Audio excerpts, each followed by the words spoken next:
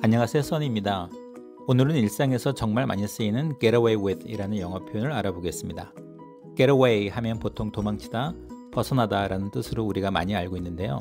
여기에 with 플러스 명사를 붙이면 어떤 규칙을 어기거나 잘못된 행동을 했는데 들키지 않고 무사히 넘어간다는 의미가 만들어집니다. 예를 들어 만약 주차 금지 구역에 주차를 했는데 운 좋게 딱지도 안 끊기고 그냥 넘어갔어요. 그러면 여러분은 I got away with illegal parking 이라고 말할 수 있죠.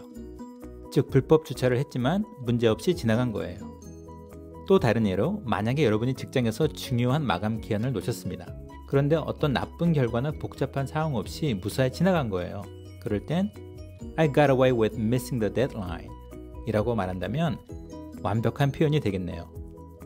기한을 놓쳤지만 상사에게 혼나거나 거래처와의 마찰과 같은 문제가 없었다는 것이죠. 가끔 영화나 드라마에서 You will never get away with it 이라는 말을 듣게 되는데 뜻이 명확해지나요?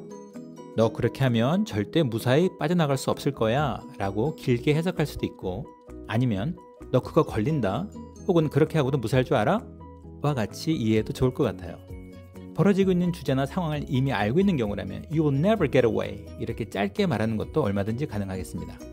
이와 같이 상대방에게 경고하거나 주의를 줄 때도 아주 유용하게 쓸 수 있는 표현이죠. 제가 좋아하는 말 중에 오늘 무사히 넘어갔다고 해서 내일도 아무 일 없을 거라는 보장은 없다 라는 말이 있는데 나쁜 일을 하면 당장은 아니더라도 결국에는 책임을 지거나 벌을 받는다 라는 교훈적인 문장이라 여러분께 한번 소개해 봅니다. Just because you got away with it today doesn't mean there won't be consequences tomorrow. 감사합니다. Thank you very much.